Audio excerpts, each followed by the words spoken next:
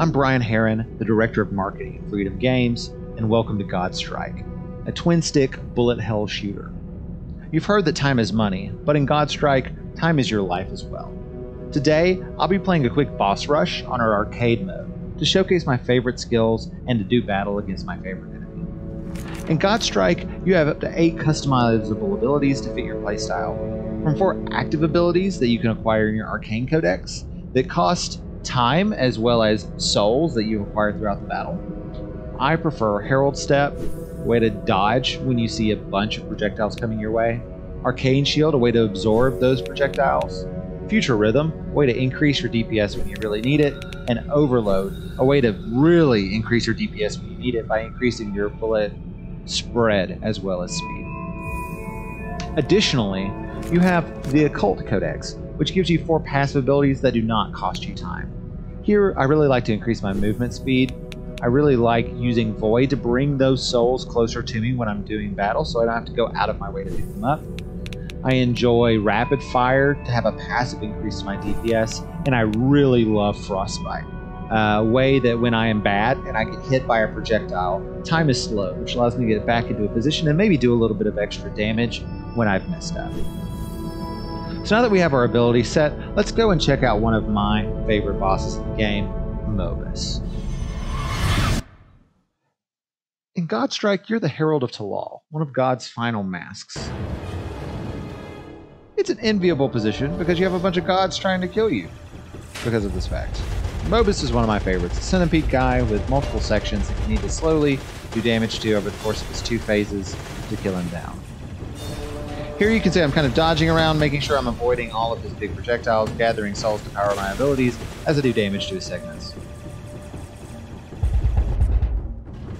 A big part of the game is understanding the uh, rhythms of the bosses and their different patterns to know where they're going to come out next so that you can do the most damage and avoid the projectiles. Here I pop it, overload, do a ton of damage to his back segments while dodging some projectiles to get a bunch of damage in. Oh, take some damage there, but as you see, I use time shift to just like frostbite away from the, the damage and get myself out of harm's way while doing a bit of extra DPS. I know he's coming in here, so I prepare myself to do a bunch of damage to his segment that's already destroyed. But to dig back in and run right into his body and take a bunch of damage, but I'm alright.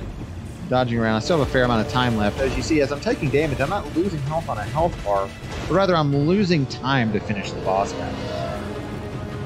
Using our abilities and taking damage all decrease that time. And here in his second phase, I'm here trying to do damage to his back parts. His little tail here while dodging much more projectiles than I was having to dodge in the first phase. Oh, I take a bit there, but Frostbite allows me to get back in position, get my bearings before I go back in again.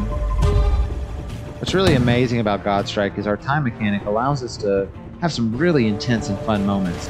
If I run out of health and time. I'm not dead immediately. I just have one more hit I can take before the battle is over. It's very important to be careful. Frostbite there coming in clutch quite again, gathering up shields now I have enough to use an overload. I'm going to save it here while I dodge around these mines, avoid the projectiles. And here he comes in here. I want to fire for an overload to get a bunch of damage onto that back tail section, especially there. That was really worth it. Dodging around here, Getting out of position. Just dodging enough, taking a little bit of damage, but I'm fine. I have about 30 seconds left. Oh no, I didn't want damage there. Okay, dodging around quite a bit. I'm in a good spot. Just have to dodge these. Mobus just needs a couple of more attacks. I'm almost out of time though. And oh, as you can see, I'm out of time. One more hit and I'm dead, but I'm just able to get a hit in and finish off Mobus.